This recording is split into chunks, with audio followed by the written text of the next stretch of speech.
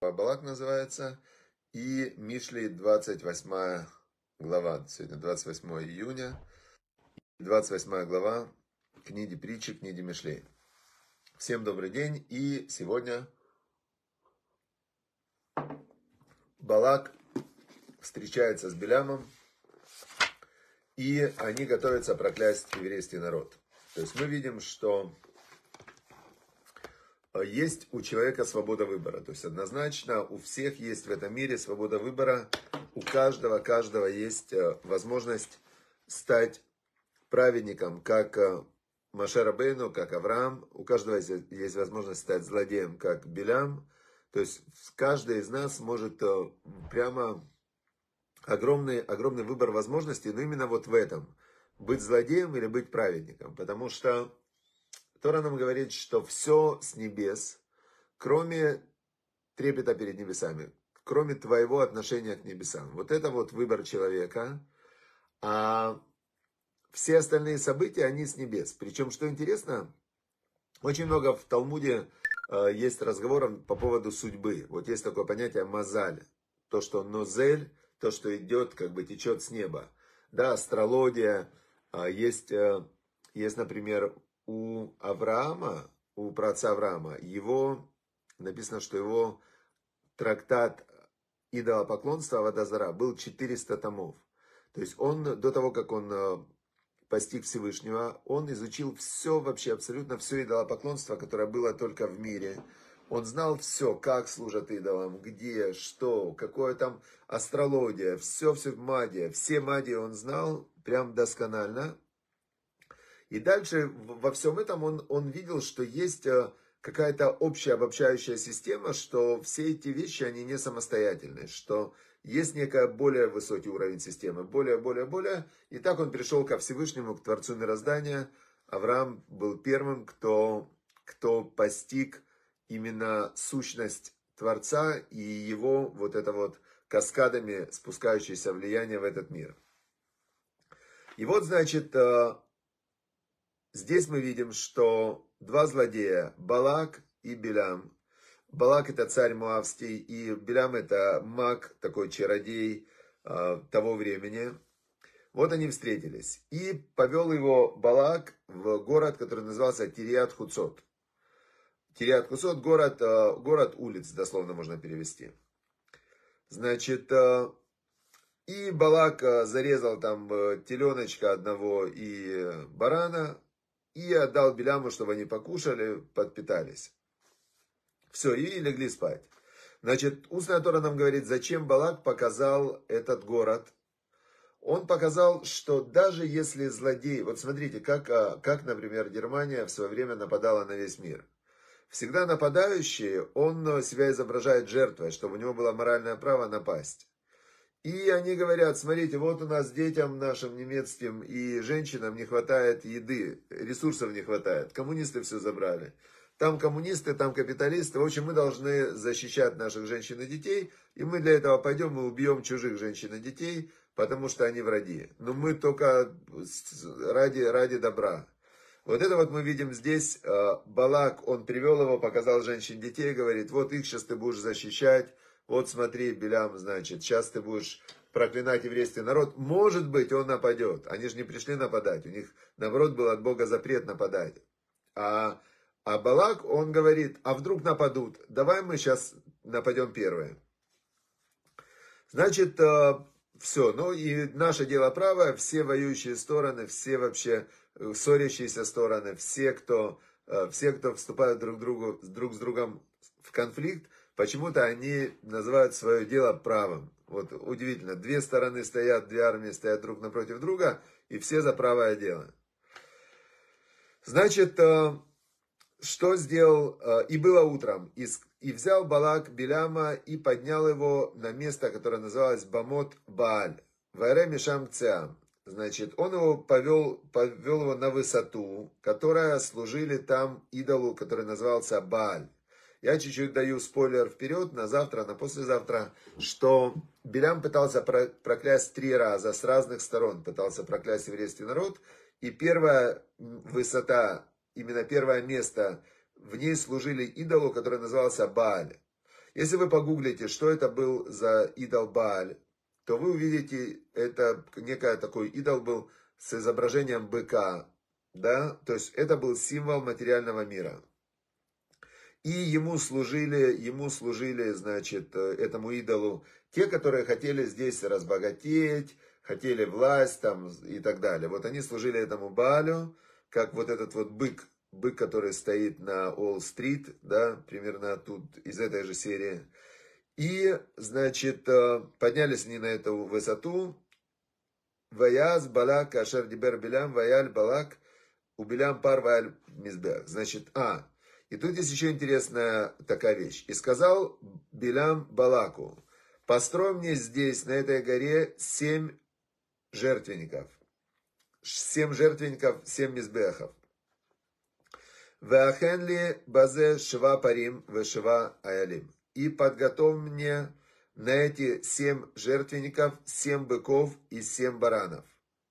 И сделал Балак, как ему сказал Белям, и, значит, сделали они, принесли они жертвы все сожжения, на каждом жертвеннике они принесли в жертву быка и барана.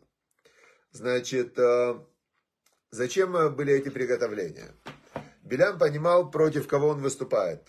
Чем, э, кто такой пророк? Пророк это тот, кто видит, э, видит структуру мироздания, у него есть выход в духовный мир. И Белям, так как он был пророк на уровне Машера Бейна, то есть он видел всю духовную вот эту вот систему, которая находится за, как сказать, мир, это каскадное отражение, уплотненное отражение вот этих вот духовных миров, как то, что вы сейчас видите картинку там на своем экране, это отражение каких-то ноликов и единичек, каких-то сигналов электрических, каких-то сигналов, которые э, передаются через интернет. То есть, э, по факту, та картинка, которую вы видите, она складывается из э, сигналов, которые нам абсолютно непонятны.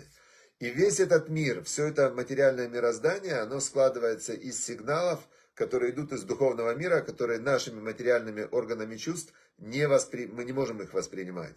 А пророк, у него есть возможность выйти за пределы обычного восприятия органов чувств и подключиться к этому миру, из которого все происходит. Сейчас физики, психологи называют это квантовая реальность, квантовое какое-то пространство, множественность вариантов, то есть то, что называется по-простому духовный мир и Всевышний Творец мироздания, который весь этот духовный мир, это он и есть, только он есть в разных его проявлениях, да, в его разных проявлениях, вплоть до Всевышнего, который вне формы, вне содержания, вне каких-то структур, это Творец, да, который сотворил сотворенное, и всесильный, это все законы, все мироздание в духовном плане. А потом идет материальный мир, который тоже проекция Всевышнего. Так вот, э, значит, э, Билям знал, как оно работает, и он говорит, чтобы я мог проклясть, поставь семь жертвенников и принесем в жертву семь быков, семь овец. Значит, чем это было связано? Это было связано с тем, что Авраам, который соединился со Всевышним, и Всевышний с ним заключил союз, Авраам приносил в жертву, помните, барана, который был вместо, он готов был сына принести в жертву, но Всевышний потом поменял на барана. А Белям, он говорит, мы сделаем больше, мы сделаем и барана, и быка. Авраам построил, по-моему, четыре жертвенника, а мы построим семь жертвенников, да, то есть э, Авраам построил четыре, Ицхак один, и Яков построил два жертвенника. Вот всего они построили семь. Белям говорит, мы построим тоже семь жертвенников, а жертв принесем больше. То есть мы сейчас со Всевышним будем входить в контакт. Как это работает? Почему именно жертвоприношения? Они каким-то образом соединяют духовный материальный мир, мы не знаем. То есть Всевышний сказал делать, как он сказал делать. До этого были человеческие жертвоприношения, там очень много было с этим связано. То есть я не знаю, как это работает. Значит, сделали, они принесли жертвы. И сказал Белям Балаку, построй жертвенники. И сделал Балак, как ему говорил Белям, все они все сделали. И сказал Белям Балаку, значит, э, говорит, э, сейчас мне надо подготовиться, может быть, Бог будет сейчас со мной разговаривать. То есть он не был уверен, потому что до этого Бог всегда с ним разговаривал ночью, во сне. А, и случилось, что Всесильный обратился к Беляму и сказал ему что говорит? Семь, семь жертвенников ты подготовил, да? А, и принес жертву быка и ягненка на каждом.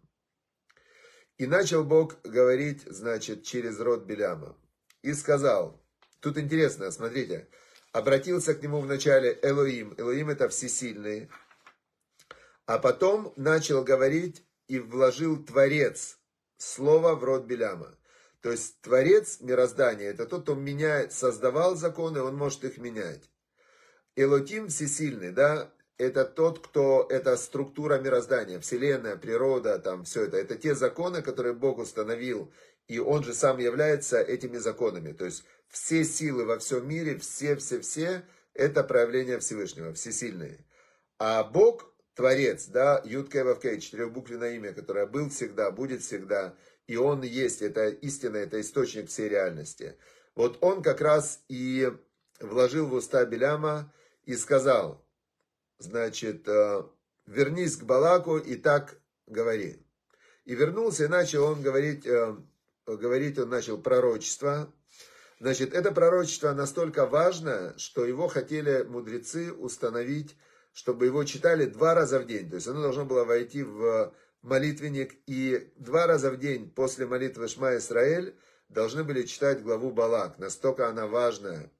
В этой главе, в этом пророчестве, которое Бог вложил в уста Беляма, раскрыты все тайны Машиаха, как придет Машиах, когда он придет, там, все, все, все здесь э, было в этом пророчестве, поэтому я, мы не успеем его, значит, э, прочитать, да, этот кусочек, потому что оно было с трех, с трех как бы углов, и вот с этого угла, в общем, в итоге Белям вместо того, чтобы проклясть он благословил, сказал, что народ этот, он благословлен, и, значит, что невозможно их сосчитать, невозможно их победить, и он был бы сам лично счастлив Белям умереть, как они, потому что в, тот, кто соединен со Всевышним, у него смерти нет, поэтому умереть, как э, умирает э, народ Израиля, это значит просто перейти из одного состояния в другое. Есть такое слово «жизнь» на иврите, это «хаим», Хаим это, не, это как жизни. То есть э, я желаю тебе жизней, жизней долгих. Вот когда желают Хаим Арутим. Не жизни долгая, как на русском звучит, а жизней долгих. То есть слово «жизнь» нет в единственном числе в иврите. Есть только слово «жизни». Да? И поэтому Белям говорит, хотел бы я так умереть, потому что в итоге-то смерти нет. И Балак ему говорит, что сделал ты мне? Я тебя позвал моих врагов проклясть, а ты их благословляешь. И ответил ему, все, что Бог, я предупреждал, все, что Бог вложит в мой род, это я скажу. Это сегодняшний отрывок. Интересно здесь, знаете что, что Раф Шимшан, Рафаэль Гирш, вот это вот его комментарий, вот его комментарий на Тору, это супер книга вообще просто очень классно издана в одном томе, как бы вся Тора с комментариями Рава Гирша. Он говорит такую вещь. Значит, почему нам вообще, зачем была рассказана эта история со Слицей до того, как э, пошла история с Белямом? Причем, причем тут ослица? Почему ослица начала говорить, какое нам вообще дело тут? Зачем Всевышний сделал всю вот эту вот сцену, да, как бы сцена, которая вошла в Тору, которую мудрецы говорили, что надо ее читать два раза в день, эту главу, она по уровню значимости, как Шма Исраэль молитва, самая главная.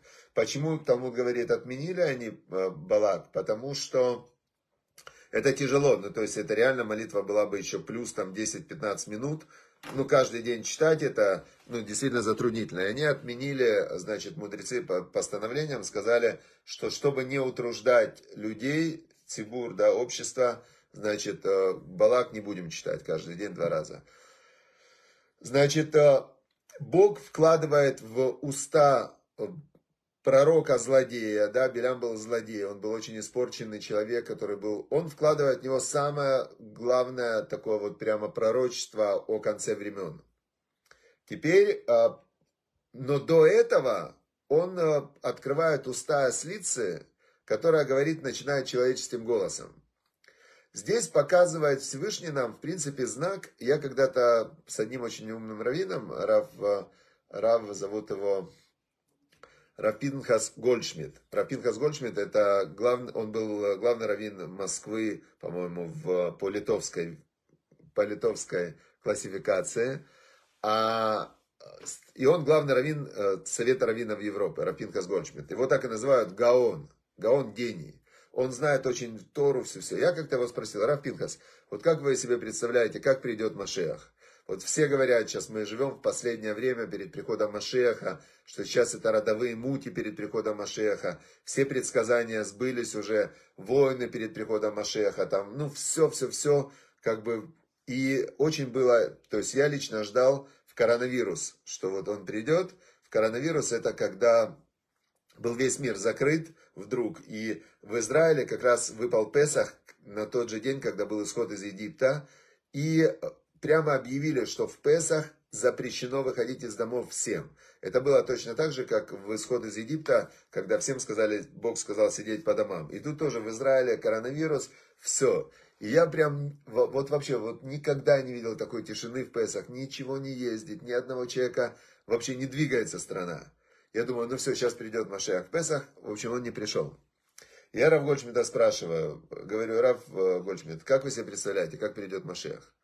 Он говорит, написано у пророка, по-моему, Ишаяу, то есть, или Исаия, пророк Исаия, не помню, а Исаия это есть Ишаяу, только в произношении греческом. Эм, все ше они переделывали на се.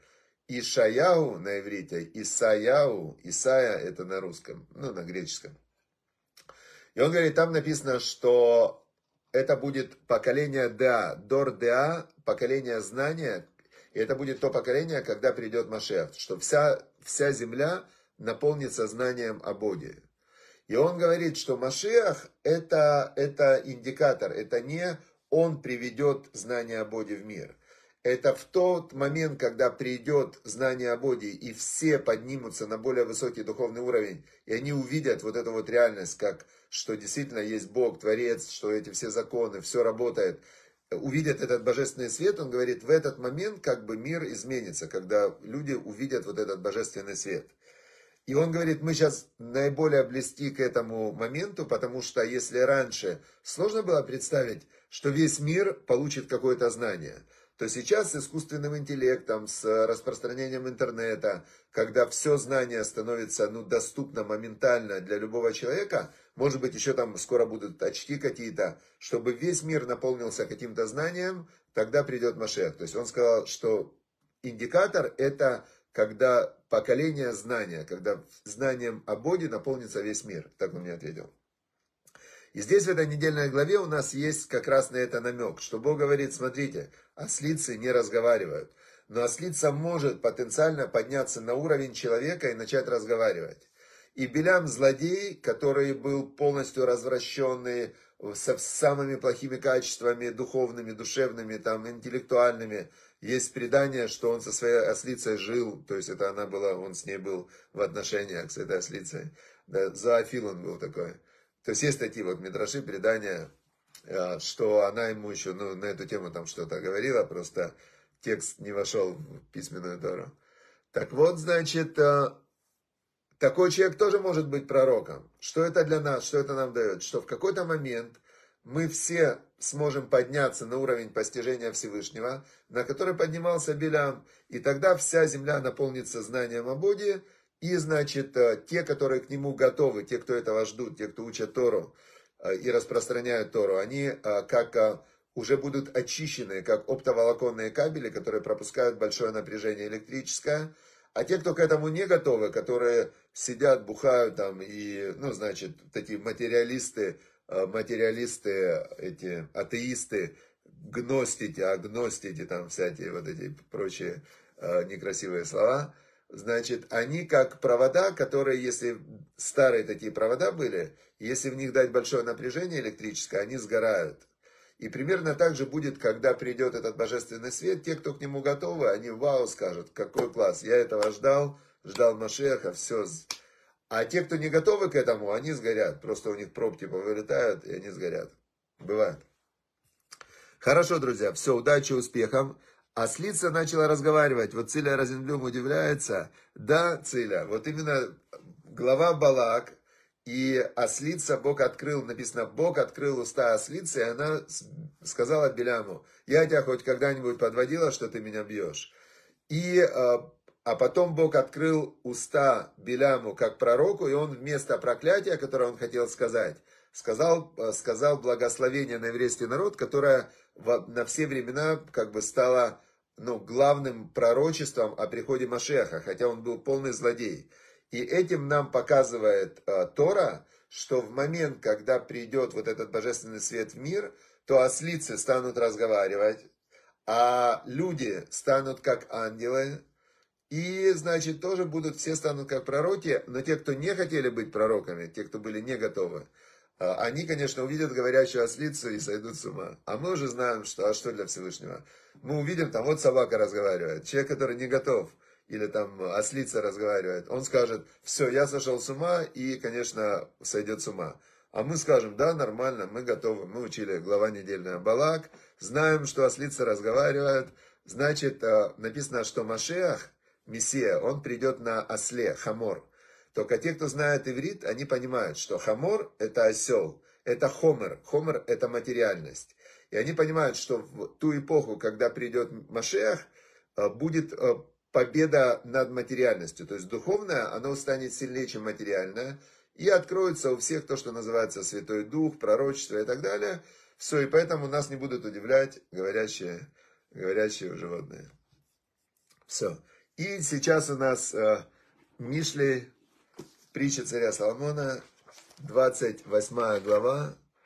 Очень, э, значит, э, сегодня, кстати, Всевышний для меня сделал такое мини-чудо я очень рад, э, очень была одна ситуация, которая, которая вот постоянно человеку нужны, обязательно нужны встряски. Об этом я хочу сказать в вот сегодняшней, в 28 главе есть об этом тоже отрывочек.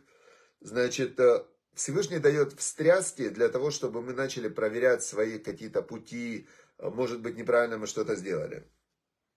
Вот, например, например, в 28 главе написано так. Э, написано так. Значит,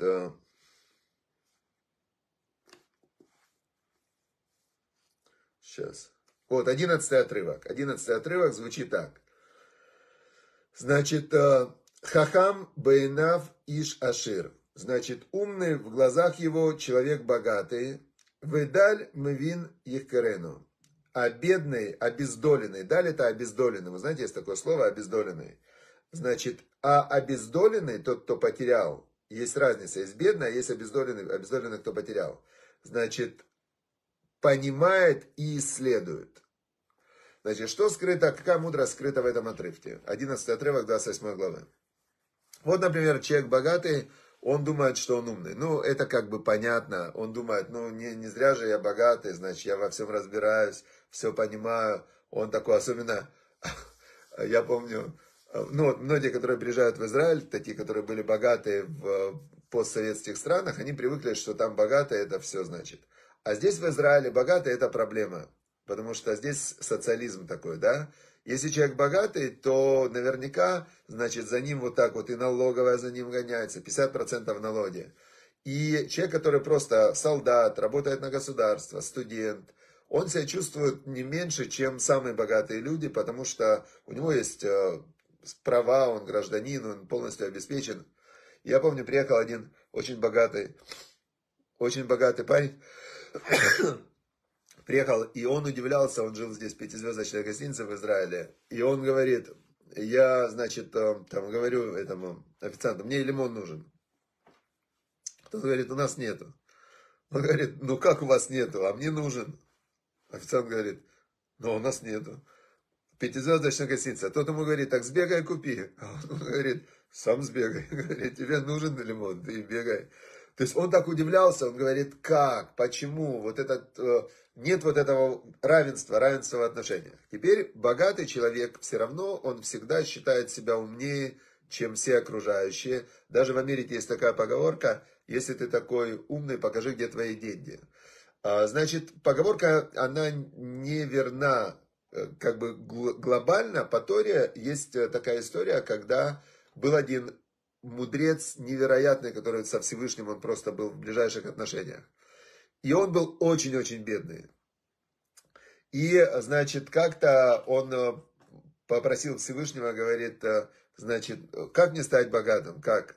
Всевышнему говорит, смотри, я, если ты хочешь, чтобы я разрушил мир и собрал его заново для тебя, чтобы ты появился в другой момент, чтобы вся система перестала работать, тогда, говорит, я это сделаю для тебя. Тут говорит, ладно, не надо, уже помучаюсь здесь, но, значит, есть, э, тоже я сейчас вспомнил известная история, когда зашел один мудрец в, в дом к другому, и тот сидел в темноте и плакал. И этот мудрец, который Раби Йохана, зашел к нему и говорит, Раби Лезеру, Раби Лезер звали этого мудреца, который сидел в темном доме и плакал. И Раби Йоханан ему говорит, а, а, он зашел и вот так поднял рукав, и у него а, свет шел от руки, да, он осветил дом рукой. И, значит, а, видит, Раби Лезер плачет. И он ему говорит, скажи, говорит, чего ты плачешь? А, ты плачешь, может быть, что ты учил мало Торы?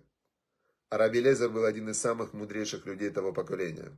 Так он ему говорит, Раби Йоханан, не надо из-за этого плакать. А, и приводит ему отрывок, что тот, кто маленькое жертвоприношение привозит, приносит, или большое, это одинаково для Всевышнего, нет размера. Важно, чтобы сердце твое было направлено к, ко Всевышнему. Он говорит, какая разница, ты один урок послушал а, по главе Балак и Мишли 28 главу. Если ты от чистого сердца хочешь учить Тору, чтобы постигнуть волю Всевышнего и выполнить ее, то для Всевышнего ты так же близок, как какой-нибудь супер-равин, который всю жизнь посвятил этому. То есть в этот момент, если намерение твоего сердца чистое, даже чуть-чуть Торы, это важно. А может ты ему говорит, плачешь, что ты не богатый, так говорит, не каждый удостаивается кушать с двух столов. И со стола материального мира, и со, сторона, со стола духовного мира. То есть было много раввинов, которые, которые э, значит, э, не были богатыми. Хотя написано в Мишле несколько раз, что мудрость приносит богатство. Значит, э, богатый думает, что он умный. Почему? Всевышний ему дает разные сигналы. Он тут потерял, там потерял, здесь потерял, тут у него там конфликт, тут скандал. Но он, он полагается на свое богатство, как на крепость. Тут адвокаты, тут врачи, тут он э, потерял, но ничего страшного, в общем там в зачете не видно. И он не чувствует эти сигналы. То есть э, Всевышний пока его не прям, уже прям мордой об стол не ударит, какая-нибудь болезнь, или там в тюрьму его посадят. Богатый человек, он не понимает, что он куда-то не туда свернул. А как написано, а бедный, значит, обездоленный, тот, кто потерял, мы вин в их карену. Он начинает исследовать, исследовать и понимать, потому что у него любая неприятность, он ее чувствует все, у него нет вот этой вот жировой брони и богатства. То есть человек, у которого нет денег, у него любая проблема, она его полностью выбивает, и он тогда, тогда он начинает думать, где я согрешил, где я неправильно сделал, как. То есть говорит царь Соломон, вот нам показывает вот такую вот э, систему, как это работает.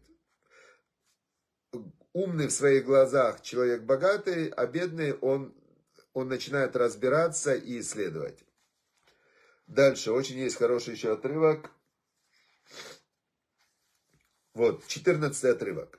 Значит, 14 отрывок звучит так. Ашрей Адам Мифахет Тамид, Умакшели Бо и Поль Бера.